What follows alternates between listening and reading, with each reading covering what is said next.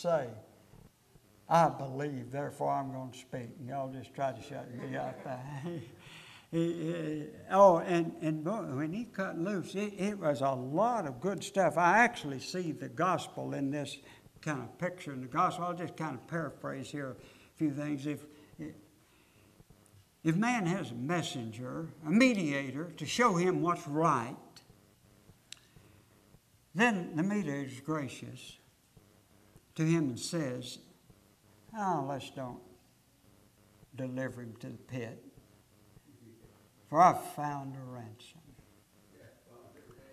Uh, now, you know, and I know, in the face of Jesus, He's the messenger, and He's the mediator, and He is the ransom. Amen. So, Elihu just, Jesus just wrapped all of this up in one here. And what happened as he was talking to Job about his restoration and recovery, he says, He'll pray to God. He'll delight in God.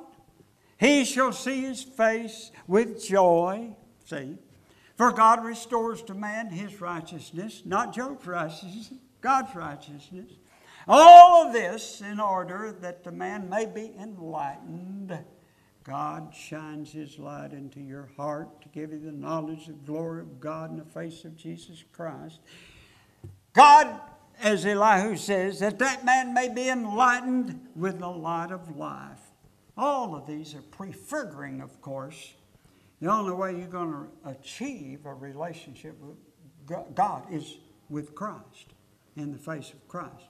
So it's very easy to see that Christ suffered what for sins? To bring us to God. See, now we got Him. Through Jesus, we have access to the Father. Through faith, of course. In Jesus, we have obtained access by faith into this grace, light, and therefore we rejoice in the hope of the glory of God. Now I'm going to tell you if you ever see Jesus, you'll know God. And it always brings me back to my knees. Always. Their infinite glory meets the lowest humility. You see it in Jesus. God has to have it. Deepest reverence for his Father meets equality with God. Infinite majesty meets amazing meekness infinite worthiness of everything good of our Savior meets the greatest patience to suffer every kind of evil. Demanding justice meets loving kindness and mercy. It's all right there in the person of Jesus Christ. That's why it's in his person. Now I conclude, but not quickly, with these remarks. It's very easy to me to see that in this, that your salvation is not number one in God's mind. God's glory is the first thing in his mind. But he's going to get more of it if he saves you. It's his first allegiance to himself. If his first allegiance wasn't to himself, would you want him to be your first allegiance? I don't think so. You'd have no hope of finding happiness in him if his first allegiance wasn't to himself. Now, I thought about this and I, and thought maybe I better not say, but I'll just say it anyway. Do you believe God's sovereign? How can somebody that's sovereign not be happy? It must be the most happy. His will can't be thwarted. He's in heaven and do what he wants to. How could he not be happy?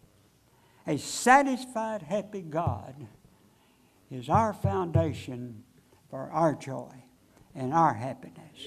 That means when you that light shines and you get to him, he's not out of sorts. That's an East Texas expression. If you don't understand, he's not mad when you get to him. So, whatever goals and purposes God has, they're all subordinated to exalt in the value of His glory.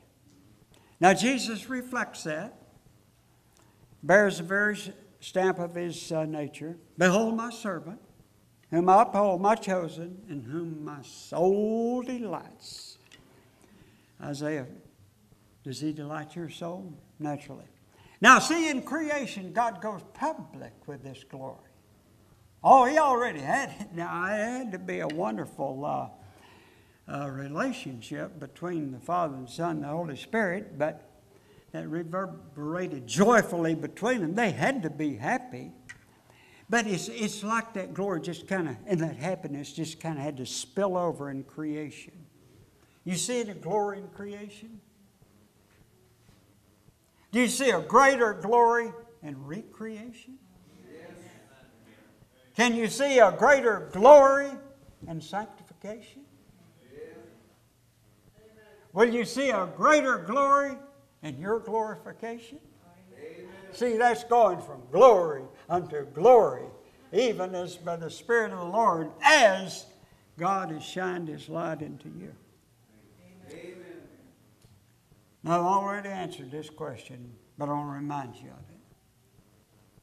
When you want a gift of God, what's a, why don't you go for the best one? What's the best thing that God can give you? There's only one answer Himself. If you don't leave with any other thing, take that with you. And what do you give? Oh, well, what do you do with a gift that you are so proud of? and so happy with, you praise it. Is that not what worship is? Yes, well, I thought it was keeping five rituals on Sunday morning, appointed hour. I tell you what, now, the only compassion I have for most of the world that has no idea what worship is, is I've been in their shoes. But I despise it, and I hate that people do not understand what worship is. Amen. You will spontaneously praise what you value, and that is worship.